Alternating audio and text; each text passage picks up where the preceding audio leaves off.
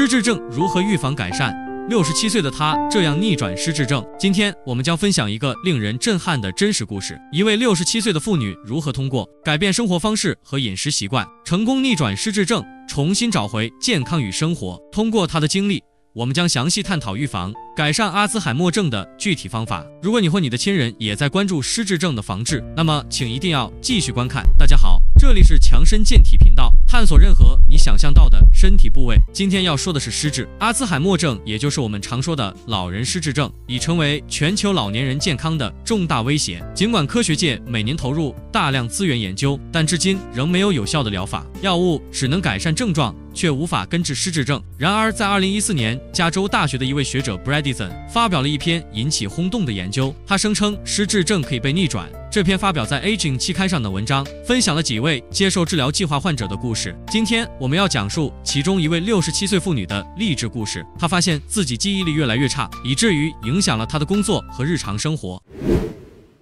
她曾经是一名全职工作者，负责大量分析工作。然而，随着记忆力的衰退，他不得不反复阅读同一段文字才能理解，并且记不住超过四位的数位。更严重的是。他会在回家的路上迷路，甚至忘记家里的电灯开关在哪里。这位妇人的母亲也在六十岁时出现了类似的症状，最终因失智症去世。他的医生告诉他，他也将面临同样的命运。在绝望之际，一位朋友建议他去尝试一种新的治疗方法。这种方法看似简单，却带来了惊人的效果。接受治疗后三个月，妇人的症状开始明显好转，她可以轻松地开车不迷路，记住电话号码。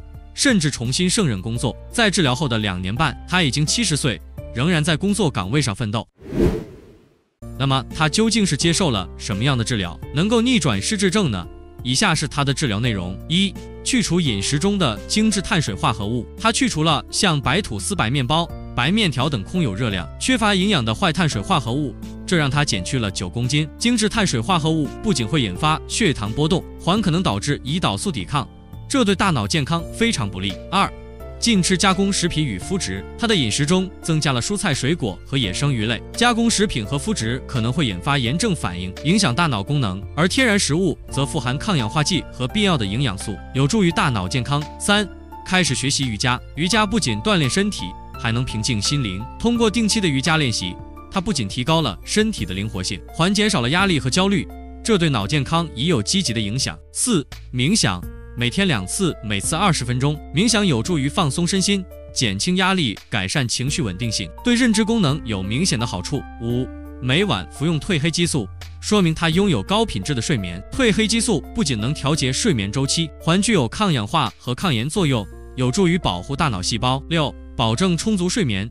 每晚睡满七到八小时，充足的睡眠对于大脑的修复和记忆巩固至关重要。七、补充维他命 B 一二和维他命 D 这两种维生素对神经系统和大脑健康非常重要，缺乏时会导致认知功能下降。八、服用鱼油，鱼油中的 omega 三脂肪酸对大脑健康有重要作用，能改善认知功能和减少炎症。九、补充 COQ 一零。提高细胞能量，CoQ10 是细胞能量生产的关键成分，对维持脑细胞功能至关重要。十、加强口腔卫生，使用电动牙刷和牙线。口腔健康与整体健康息息相关，尤其是口腔感染可能会影响大脑健康。十一、荷尔蒙补充疗法，在医生的指导下进行，平衡荷尔蒙水准对于维持身体和大脑的健康状态非常重要。十二。每天进食至少十二小时，早餐与晚餐之间空腹至少十二小时。间歇性进食有助于降低胰岛素水准，改善代谢健康。十三，规律运动，每周四到六天，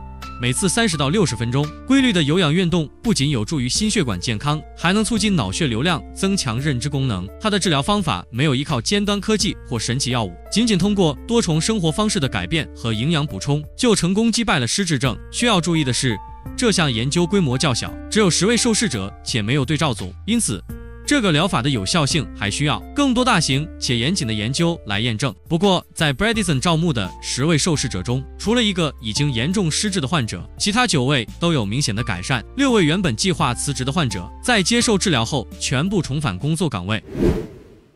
阿兹海默症的成因极其复杂，就像一个浴缸有三十个漏洞，用一个橡皮塞是不可能防止漏水的。这也解释了为何过去的单一药物治疗常常失败，而 Bradison 的多重治疗手段几乎每一项都能改善胰岛素阻抗的问题。这也支援了失智症是第三型糖尿病的观点。研究表明，胰岛素阻抗不仅影响体重和血糖，还可能损害大脑功能。Bredesen 的治疗方案通过改善胰岛素敏感性、降低炎症、优化营养状态，从多个角度共同作用，最终达到了逆转失智症的效果。